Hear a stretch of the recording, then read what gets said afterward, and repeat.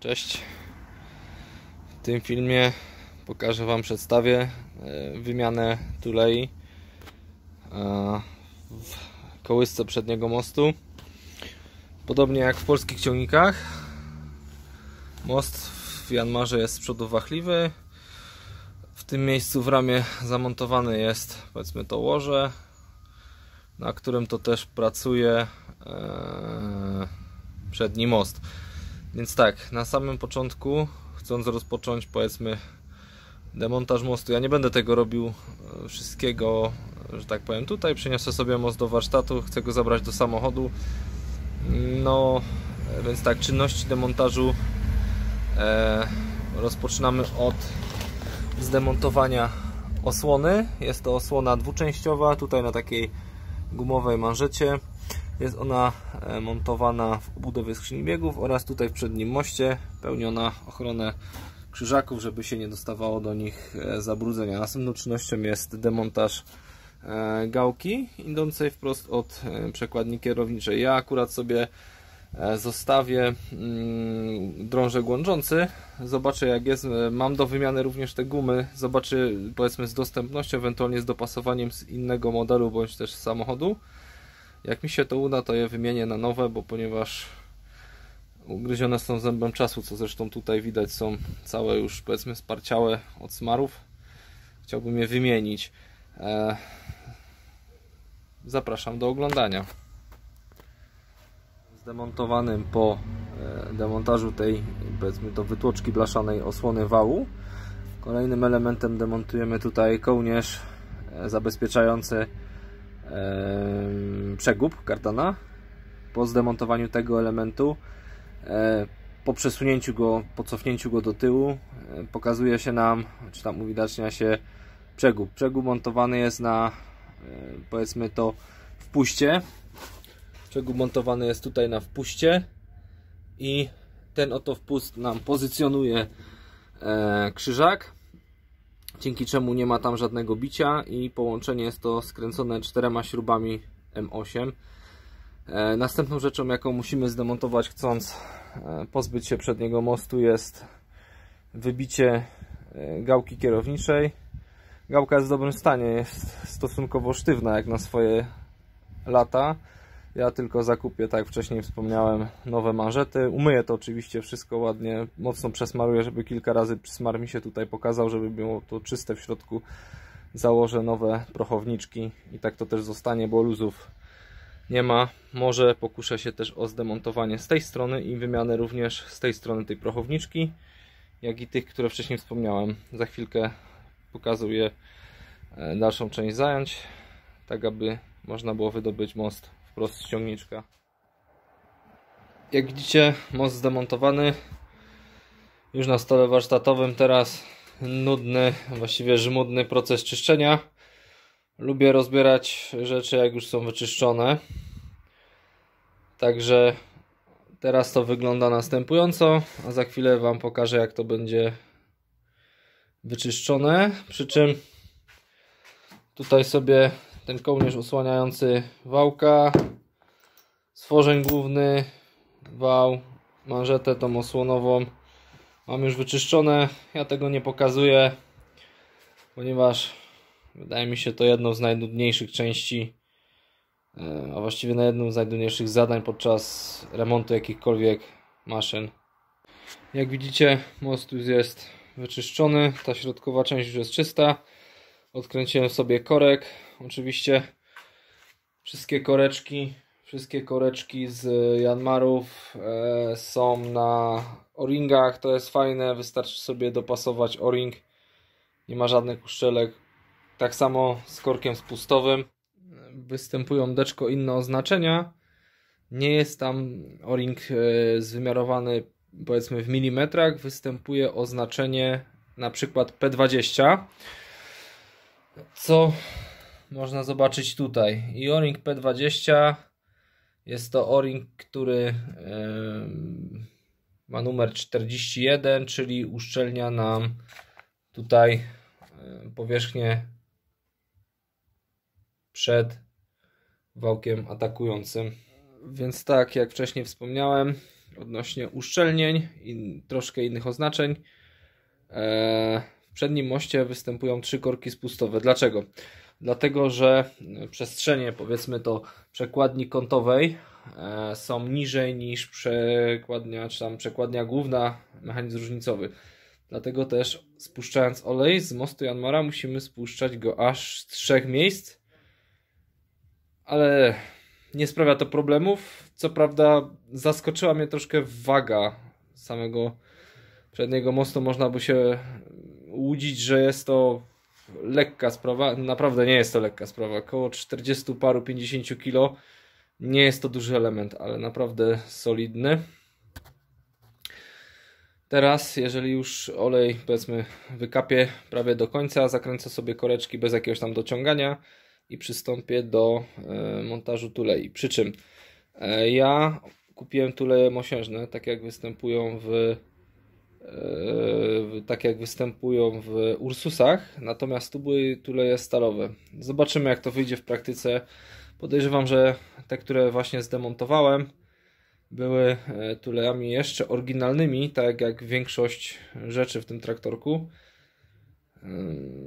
Podejrzewam, że te 40 lat eksploatacji zniszczyło stalowe, to mi te mosiężne wystarczą na przynajmniej kilka ładnych lat eksploatacji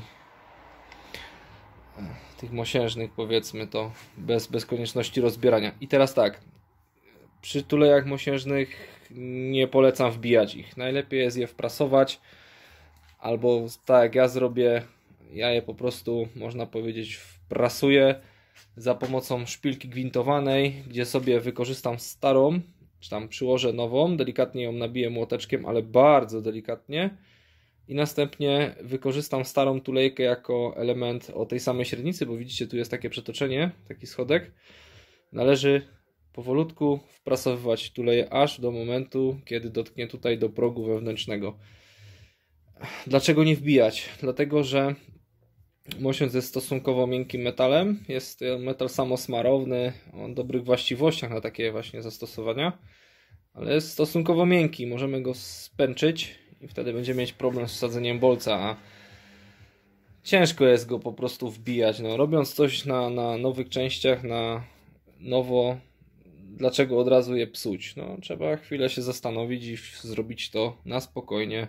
E pokazując, tą już mamy wciągniętą. Teraz będziemy wciągać tą, pokażę jak przebiega taki proces. Przy czym należy zauważyć, że mm, aby ta tulejka stara nie osadziła mi się w, powiedzmy to w gnieździe, zawsze tak przy, przy, przy różnym nabijaniu coś zdejmuję sobie troszeczkę na szlifierce stołowej. Ona jest delikatnie tutaj cieńsza.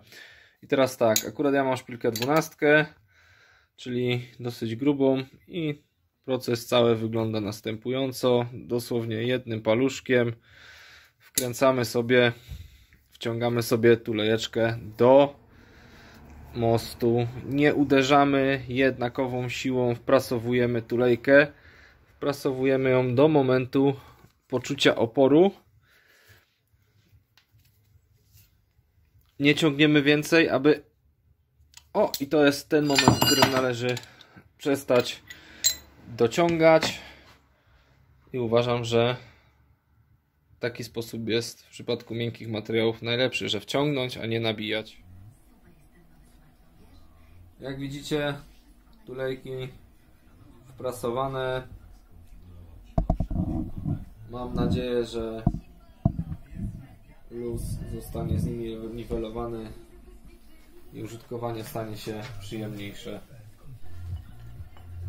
Jak widzicie, wprasowane tulejki, a właściwie wciągnięte bym to nazwał, nie mają tendencji do zwężenia się i fabryczny wymiar zostaje zachowany pięknym, minimalnym, a właściwie nawet niewyczuwalnym luzem, a możemy swobodnie tym obrócić. Więc sposób ten, jeżeli kiedykolwiek zdarzy mi się posiadać coś większego, również zastosuję w większych seriach. Przy okazji e, wymiany tulejek na wahadle postanowiłem również wymienić uszczelniacz tutaj na e, powiedzmy osi wałka atakującego. I teraz tak, demontaż musimy odgiąć podkładkę. Ona jest zagięta na śrubkę ósemkę, czy tam na śrubę ósemkę. Odginamy.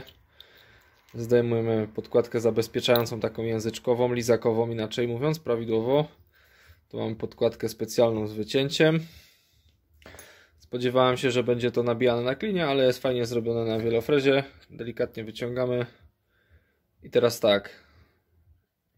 Tutaj między, powiedzmy w tym rowku pustowym zamontowany jest o-ring. Też go zakupiłem. Tak jak mówiłem wcześniej, są tutaj o-ringi nietypowo wymiarowe, tylko są o-ringi powiedzmy to z... Nie wiem dokładnie jaka to jest norma, ale był tutaj na przykład o-ring P20. Ten, to jest ten, który wcześniej wspomniałem. I taki też o-ring, najbardziej zbliżony, różniący się dosłownie pięcioma setkami, co w przypadku o-ringów gumowych wydaje mi się śmieszne.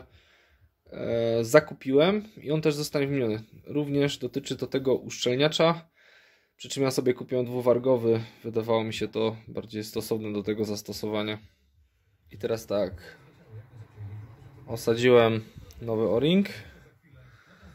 Jest to tak jak wspomniałem o-ring dwuwargowy. On ma tutaj pierwszy zgarniacz taki powiedzmy to do mm, separacji tych e, trudniejszych zabrudzeń, mocniejszych takich e, pyłów. A następny to jest ten standardowy taki olejowy. I teraz tak. Mm, tutaj na tym powiedzmy to na tej części mamy delikatnie już wyeksploatowaną, no zła ostrość. Mamy wyeksploatowaną część, po której ślizga się e, warga uszczelniająca. Co w takim przypadku zrobić? No ja delikatnie głębiej wbiłem o-ring, tak żeby te wargi zgarniające, uszczelniające chodziły tutaj po tej powierzchni, bym to nazwał zdrowej. Oczywiście montujemy nowy o-ring, to jest ten o-ring P20. W internecie łatwo można zrobić e, powiedzmy rozpoznanie, że o-ringi P20 mają jakiś tam konkretny wymiar.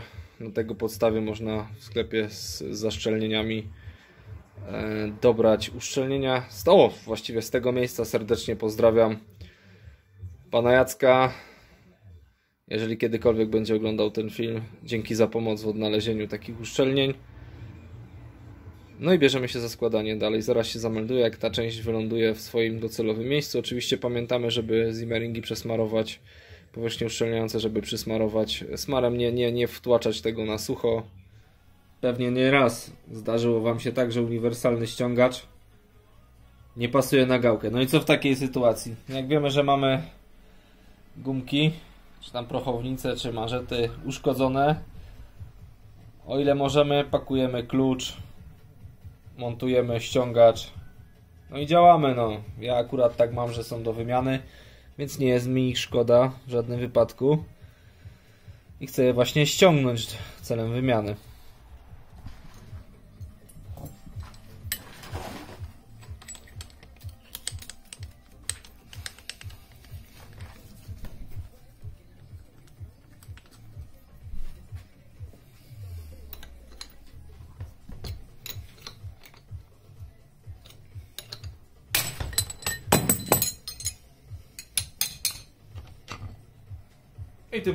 Sposobem mamy zdemontowany drążek łączący, osłony do wymiany. No już po prostu są zmęczone i zasługują na wymianę na nowe pracy.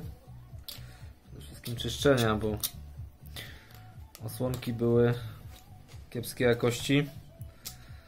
Dużo zabrudzeń się dostawało. Przede wszystkim muszę je umyć.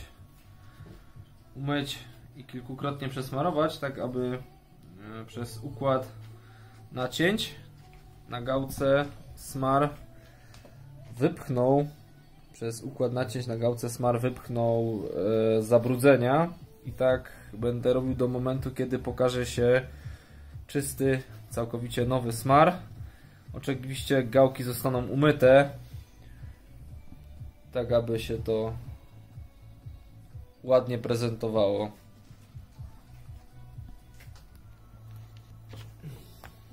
No, już jest w porządku. Nowy smart wychodzi, czyli możemy uznać, że jest czysta. Teraz tylko nowa osłona.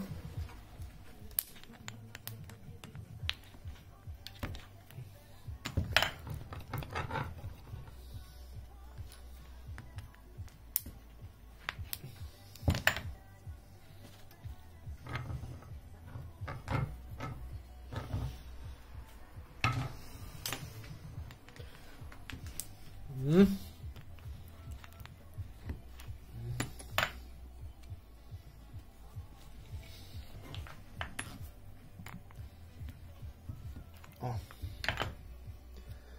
W tej chwili już mamy czysty smart.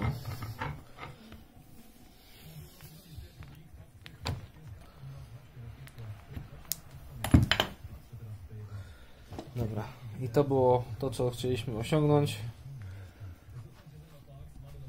Następny dzień zmagań z przednim mostem Janmara. Udało się zakupić osłony. Dosłownie 3 zł sztuka. Tu już mam kupione następne na wałek, czy tam na cięgno główne od przekładni kierowniczej. Muszę te wystające elementy obciąć, żeby to ładnie równo było. Całość już jest skręcona. Zakręciłem korki z e, powiedzmy z pustów oleju. Na razie most jest suchy, dlatego że jakby się w aucie przewrócił, to nie chcę, żeby mi się wylał olej na e, podłogę bagażnika. Całość już jest przygotowana, poskręcana. No to przystąpimy za chwilkę do montażu na ciągniku. I tak wygląda most spakowany do auta na wyjazd. Za chwilę widzimy się przy montażu.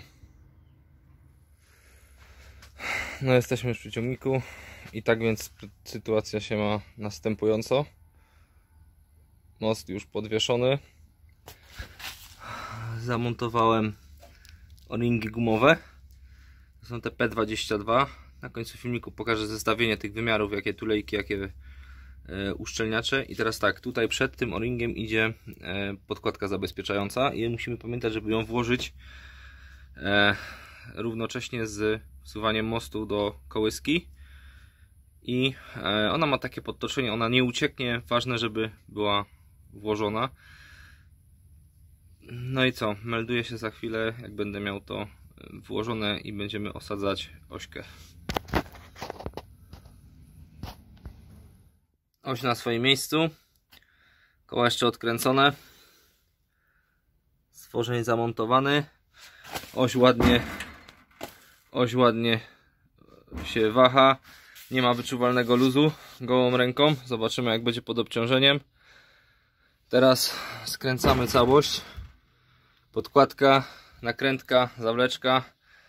Następną czynnością jaką będzie, będzie składanie e, drążków kierowniczych, tylko tak jak wcześniej mówiłem, myjemy go do porządku, kilka razy przesmarowany, tak żeby nowy smar wycisnął te całe zabrudzenia. Skręcamy i może się uda wymienić również tą gałeczkę. Most zakręcony, śruby dokręcone, zawleczki zamontowane. Przykręcam koła. Przykręcam koła, opuszczam go z lewarka, montuję osłony i wał i potem gałeczki. Przegub mamy zamontowany. Teraz montujemy osłonę. Osłonę, na której montowana jest osłona ta dwupołówkowa. Tutaj przychodzą śrubki szóstki, cztery. Ten na dole widoczna śruba, ona nie jest odkręcona celowo, przecież to jest, czy tam producent to wymyślił jako korek spustowy.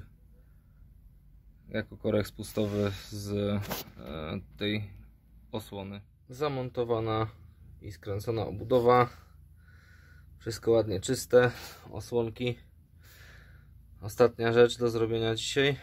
Założenie tutaj gałki na wąsie do kierownicy. I na tym dzisiaj skończymy. Więc tak, poskładane. Mieszek wymieniony, zawleczki pozaciągane, olej nalany, jazda próbna wykonana. Wszystko ok, napęd się załącza, napęd ciągnie. E, skręca ładnie. I teraz tak, może małe podsumowanie kosztów. Komplet zaszczelnień jaki zamontowałem i tulejki, te dwie, które były wprasowywane, to jest około 70 zł. Olej 45, zaszczelnienia gumowe 12 zł. No i robocizna własna. No i takie są mniej więcej koszty e, naprawy cieknącego przedniego mostu. Jeżeli chodzi o dalsze rzeczy, to w planie jest remont, powiedzmy to wizualny. No bo swoje lata ma, gdzieś tam odpryski były, korozja podchodzi, szczególnie było to widać tutaj dobrze na ramię, jak pewnie zwróciliście uwagę gdzieś na początku filmu. A kto dotrwał do teraz, to ma potwierdzenie, ale tym się akurat nie martwię, bo jak już będę robił remont, to pewnie pójdzie to do piaskowania i przyjdzie w surowe, w czyste. Jest to gruby materiał, także nie ma się co bać, że gdzieś tam będzie trzeba wstawki robić. Eee, generalnie przy wymianie tych uszczelnień w przednim moście tych tulejek zauważyłem, że poci mi się uszczelnienie na e, wyjściu ze skrzyni biegów na przedni napęd i to na razie jest tyle co trzeba by było zrobić. Myślę, żeby mm, zająć się w sezonie zimowym tym powiedzmy to naprawami lakierniczymi ale dla mnie najważniejsze jest stuprocentowa sprawność techniczna i możliwość użycia sprzętu w każdej chwili. Powiedzmy to aspekt wizualny jest istotny, ale jest na drugim planie. Dzięki wszystkim za dotrwanie do końca. Jeżeli Wam się podobało, zostawcie łapkę w górę. Jeżeli się Wam nie podobało, proszę napiszcie w komentarzu. E, jeżeli nie subskrybujecie kanału, zasubskrybujcie. No i zachęcam do śledzenia w niedługim czasie pojawi się jeszcze więcej filmów odnośnie e, prac polowych. Jak wiecie, jesień to wykopki. Będę siał poplony, czyli cała operacja przygotowania, wysiania oraz bronowania poplonów, jak i późną jesienią e, rozrzucanie obornika i sama orka. Dzięki Wam wszystkim, cześć!